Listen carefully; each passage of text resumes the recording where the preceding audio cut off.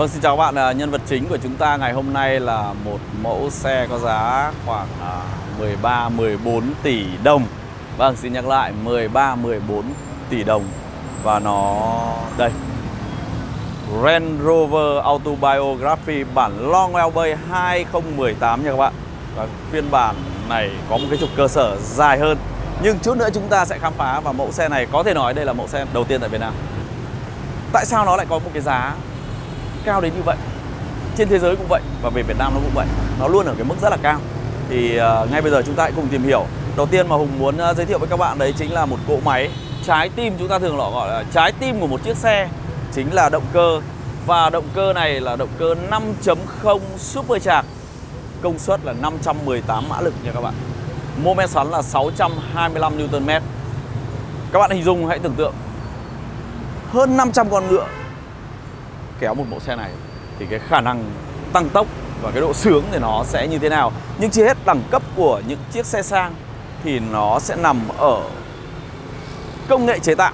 Và công nghệ và vật liệu chế tạo, cũng như là thiết kế. Thiết kế của những cái mẫu Range Rover hay là những cái mẫu xe của Land Rover thì nó đã quá đẹp rồi.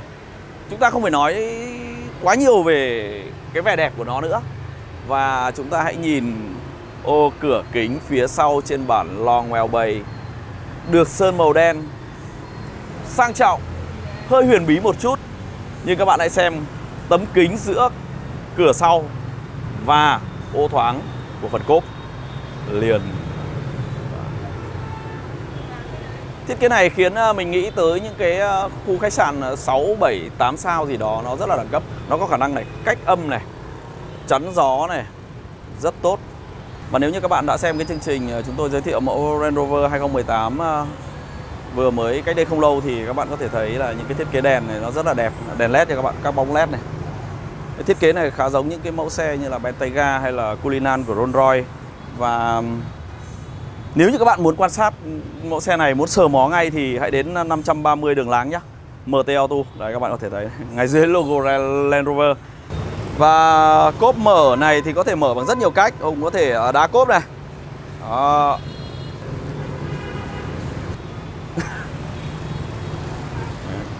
Và mình cũng có thể đóng ngay bằng chìa khóa. Cốp mở này, hình vỏ sò nha các bạn. Nếu như những mẫu như LX570 cũng mở hình vỏ sò. Nhưng mà đóng lại phải đóng từng cái một thì cái này nó rất đặc biệt một cái là bạn có thể đóng rất nhanh. Thực ra những cái công nghệ vật liệu trên uh, Range Rover thì phải nói rất đẹp từ cái lớp nỉ đến nhựa này. Rồi cái cách mà họ chiều lòng khách hàng thì phải nói là cực kỳ tuyệt vời. À, các bạn có thể thấy ở đây mình có thể điều chỉnh nâng cái gầm này lên. Đấy, người hùng di chuyển lên này. Ờ, di chuyển lên. Nó có thể hạ thấp xuống. Và nếu như các bạn có để ý rằng những mẫu xe cỏ ấy, khi mà chúng ta chở những vật nặng này thì cái đuôi nó sệ xuống thì đối với ờ, Range Rover này thì ờ, yên tâm, bạn chỉ cần nâng lên một chút thôi. Đấy. Chở nặng thoải mái luôn, không lo sệ mông. Và đẳng cấp trên một chiếc xe sang là sự tiện dụng và chúng ta có thể điều khiển uh, các cái hàng ghế thứ hai uh, gập đóng mở bằng điện hết. Đây Hùng sẽ đóng cho các bạn xem, Hùng sẽ đóng lại đấy. Hàng ghế thứ hai đang gập tựa lưng ghế, tuy nhiên nó sẽ phải dừng lại một chút để hàng ghế vị trí tài xế đẩy lên. Riêng các cái cơ cấu điều khiển như này thì cũng phải nói là khá là đắt tiền rồi. Đẹp đến từng cm vâng đẳng cấp. Tới từ những chiếc camera lùi. Camera này là nằm trong cái hệ thống camera 360 nó khác với những cái camera khác bởi vì nó có một cái ờ, vòi xịt ở đây. Để nó vệ sinh ờ, cho luôn sạch. Ờ, chúng ta không phải xuống xe lau lau lau lau như thế này mà chỉ cần ngồi trong xe bấm mắt và cái điểm khác biệt trên cái bảng long wheelbase so với các bản tiêu chuẩn khác đấy chính là gì? Đấy chính là chiều dài à, cơ sở của nó dài hơn. Nó dài hơn khoảng à, 20 cm. Tuy nhiên nó mang lại một cái không gian rất rộng và ngay bây giờ thì Hùng sẽ mở cửa. Nhưng trước khi mở cửa thì chúng ta hãy xem cái cửa này. À, dài hơn hẳn so với cái phiên bản hôm trước Hùng trải nghiệm.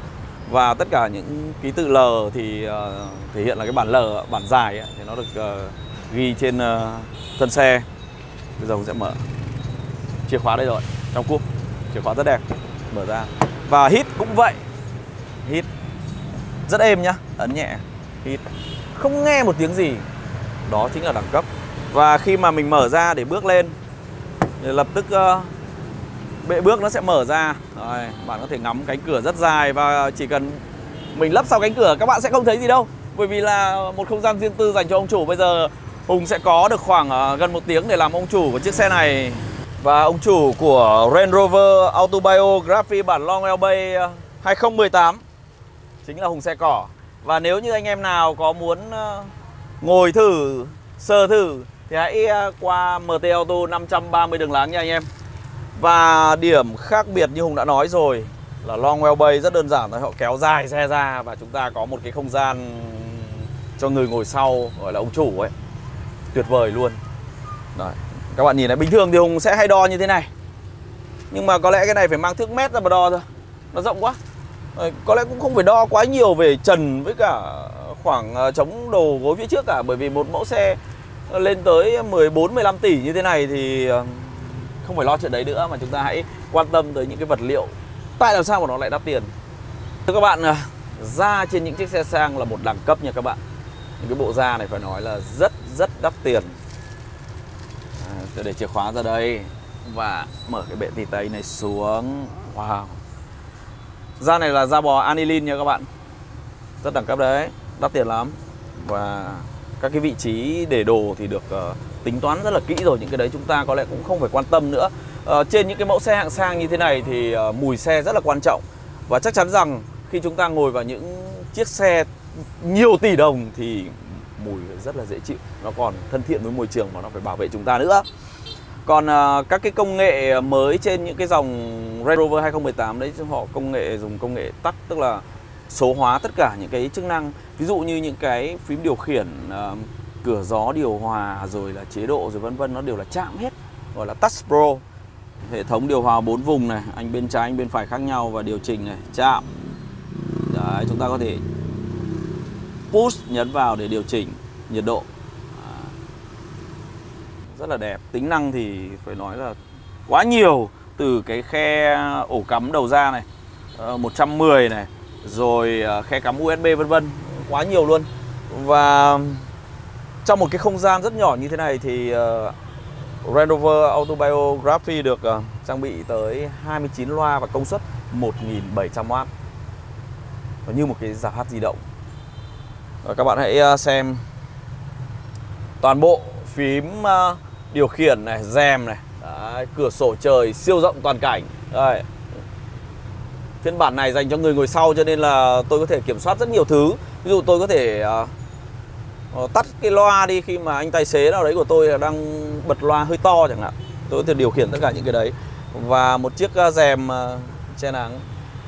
Tôi gọi là rèm riêng tư bởi vì khi kéo lên thì ở ngoài không nhìn được đâu và đẳng cấp của những chiếc xe sang này nó sẽ khác bởi vì da ngay cả trần này rất đẹp tức là đến tỉ mỉ tới từng chi tiết từng đường may và một cái màn hình rất là to. Đây loa này. Để mà đếm 29 loa này thì chắc tôi cũng phải mất vài phút đi tìm và bố trí khắp nơi.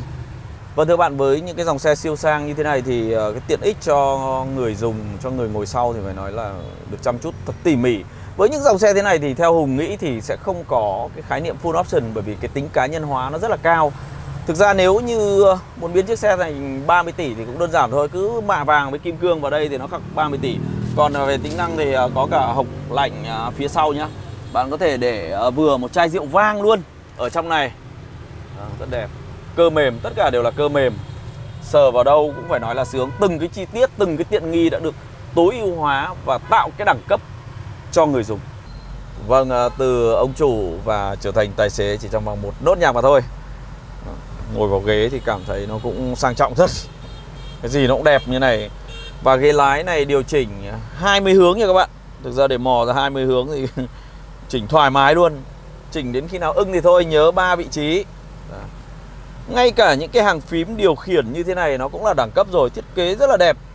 Còn điều chỉnh gương thì là dùng à, theo kiểu là Ờ, uh, touch và joystick nhá touch pro và joystick. Tuy nhiên đối với những cái thiết kế này thì đẹp thì đương nhiên rồi nhưng mà chúng ta hãy hình dung nó tương tự như một cái bàn phím của cái máy macbook. Ờ, nhỡ chẳng may mà nước mà lọt vào ấy uống chai nước mà té vào ấy thì cũng chưa biết là nó sẽ như thế nào. Không có lẽ là chúng ta phải thử. Rất đẹp.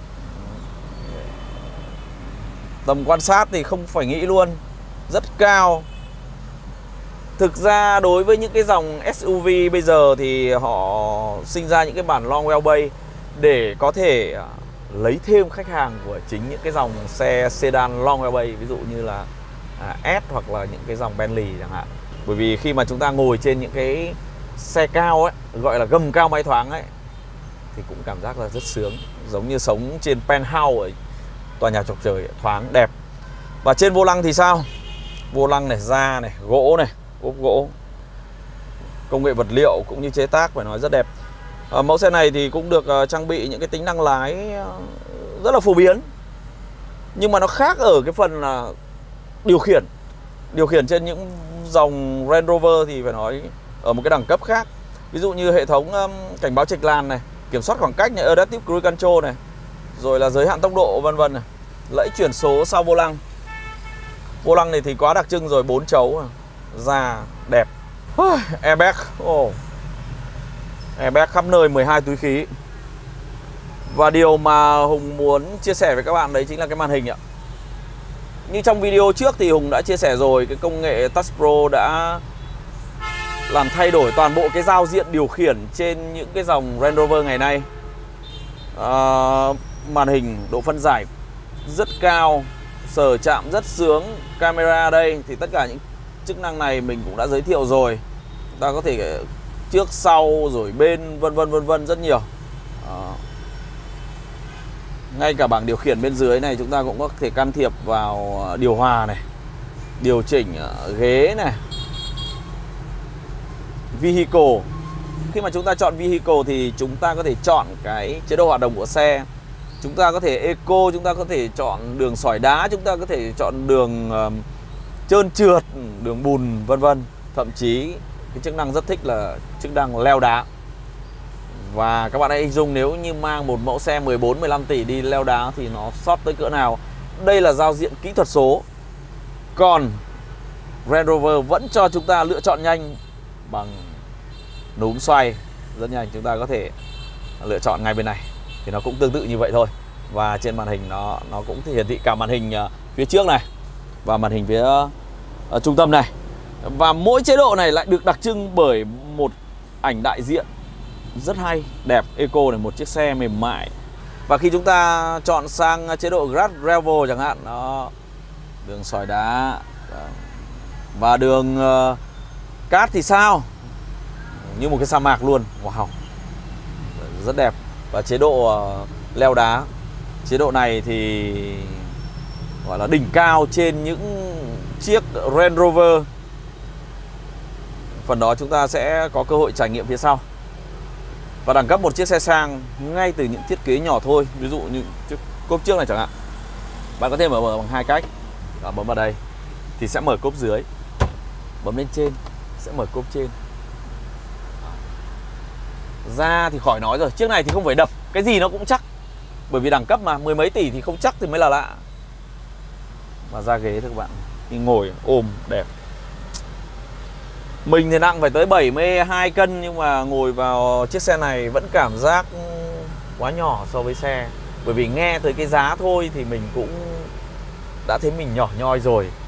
Và đẳng cấp nữa là tới từ những chiếc gương thôi. Chiếc gương như thế này. Da lộn rất đẹp nhé Những chi tiết rất nhỏ. Nó không phải là bề cắt tông nha các bạn và những chiếc đèn led tỉ mỉ tỉ mỉ tới từng chi tiết. Với những cái mẫu xe Range Rover được mệnh danh là ông hoàng địa hình thì ờ, chắc chắn một điều chúng ta sẽ đi đường dài rất nhiều. Và khi chúng ta mỏi lưng thì sao? Chúng ta sẽ dùng chế độ đấm bóp. Thay vì rẽ vào đâu đấy chúng ta đấm bóp ngay trên xe nha điều khiển ngay đây. À, tắt Pro đã thay đổi tất cả. Vâng chọn đấm bóp đấm bóp đấm bóp đi đấm bóp tí nào. Đấy, đấm bóp luôn. Vừa sấy vừa đấm bóp vừa sưởi vừa đấm bóp vừa làm mát vừa đấm bóp. À, các cái chế đấm bóp đây ạ. Và thậm chí là có thể đấm bóp đầu nữa. Wow những chiếc xe đắt tiền luôn biết luôn biết chiều lòng chủ nhân. Và với những chiếc xe được mệnh danh là ông hoàng địa hình như thế này thì thậm chí chúng ta có thể gọi tới dịch vụ sửa chữa có cảm giác như đây là một cái đầu kết nối điện thoại chúng ta có thể à, kết nối để gọi ngay và thậm chí SOS và chúng ta có thể cài đặt uh, uh, chế độ gạt mưa mùa đông. Đấy, với những nước mà có tuyết đóng băng chẳng hạn nhiệt độ thấp thì chúng ta có thể cài đặt vào đây. Và chiếc cần gạt mưa sẽ được uh, nâng lên khoảng uh, vài cm để tránh hiện tượng đóng băng. Chỉ việc tích vào mà thôi vô lăng thì ờ, được ờ, điều chỉnh điện ờ, bốn hướng nha các bạn à, núm đây ạ thế này thôi không phải giật đùng đùng tất cả những chiếc xe đẳng cấp đều phải rất mềm mại ngửi sướng sờ sướng chạm sướng dùng cũng rất sướng và thưa các bạn, đẳng cấp của những chiếc xe sang đấy chính là tính cá nhân hóa cực cao. Nó nằm ở công nghệ điều khiển, công nghệ vật liệu, công nghệ chế tạo và công nghệ marketing khiến nó luôn có những mức giá phải nói là rất cao. Và thưa các bạn, à, trong thời gian vừa qua thì Auto Daily cũng vừa mới nhận được cái kỷ niệm trương của YouTube đấy là chữ nút bạc gọi là một cái thành quả ban đầu. Tuy nhiên mong muốn của Auto Daily là muốn kết nối tất cả nhiều anh em hơn nữa, muốn tìm hiểu về xe, yêu xe à, chia sẻ những cái thông tin về xe để mọi người có thể tham khảo trước khi quyết định mua một mẫu xe. À, càng nhiều thông tin càng tốt, càng nhiều ý kiến càng tốt và đó là cái tiêu chí của Auto Daily. Vì vậy, anh em hãy like, subscribe kênh để chúng ta có thể gần nhau hơn, kết nối với nhau nhiều hơn nữa. Và còn bây giờ thì uh, xin chào và hẹn gặp lại các bạn trong những chương trình tiếp theo. Đừng quên like, subscribe kênh nha các bạn.